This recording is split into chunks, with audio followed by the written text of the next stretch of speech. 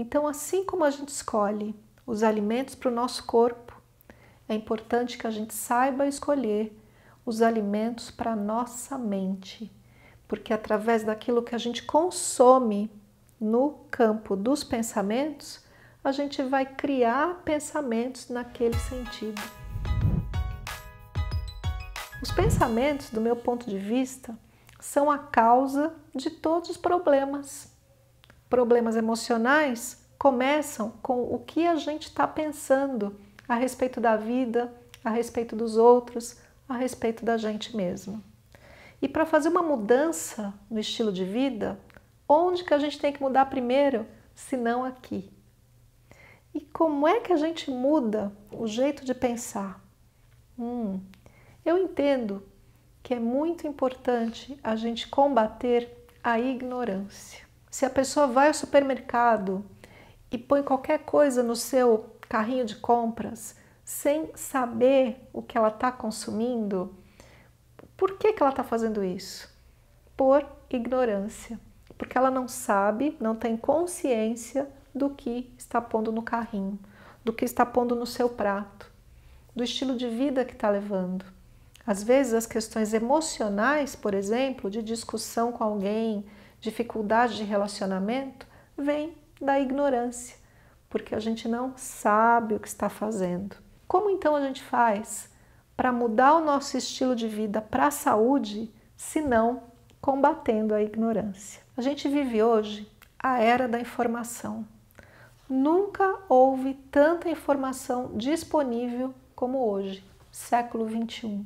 Olha, não preciso nem muito longe. Eu mesma, 12 anos atrás, nunca tinha ouvido falar de alimentação viva, que a gente podia mudar um estilo de vida e modificar completamente a nossa saúde.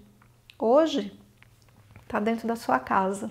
Você tem acesso a um conteúdo incrível como este aqui do Semave.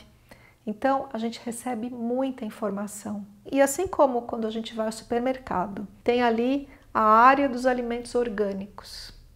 A gente tem também no mesmo supermercado alimento que é em inglês chamado junk food, comida porcaria, que não serve para nada, comida vazia. No mesmo lugar, a gente tem o melhor e o pior.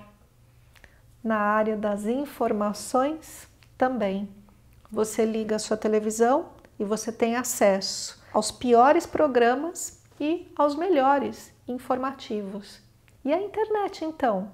Você tem acesso a informação de altíssima qualidade e informação que não serve para nada, além de te dar dor de cabeça, desespero, medo.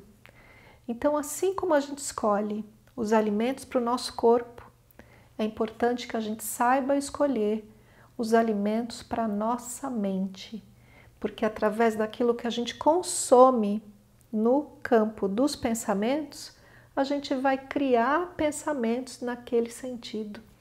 E isso vai ser o número um responsável pela sua mudança de estilo de vida. É importante que a gente vá além dos pensamentos porque já viu como a cabeça é? Pensa, pensa, pensa, pensa. Cria pensamentos o dia inteiro. Às vezes, pensamentos circulares. As ideias voltam e voltam e voltam. Por exemplo, se você é viciado em açúcar e pão e refrigerante, coisas que a gente sabe que não fazem bem para a saúde, e você está ali combatendo aquele vício, Perceba como a mente de repente volta e te induz a querer aquilo novamente. Então, como a gente faz para sair do ciclo dos pensamentos, para acalmar esse turbilhão aqui que às vezes leva a emoções de conflito também, tristeza, angústia, frustração, medo. Uma tendência comum do ser humano é acalmar os pensamentos através de algo. E a pessoa vai para o álcool, a pessoa vai para as drogas, a pessoa vai para a comida, para o açúcar, a pessoa vai para as compras, fica compulsivo, vai para a televisão, assiste TV o dia inteiro. E Eu não estou dizendo que isso seja errado, eu estou dizendo que a pessoa faz isso porque ela quer acalmar a cabeça e isso é super comum. O que a gente não sabe é que para acalmar a cabeça a gente não pode ir por um lugar abaixo dela, né? A gente não pode ir para o álcool e, e deixar a cabeça num torpor, ir para a televisão e não pensar em nada. O melhor jeito de acalmar a cabeça de um jeito saudável é indo além dela.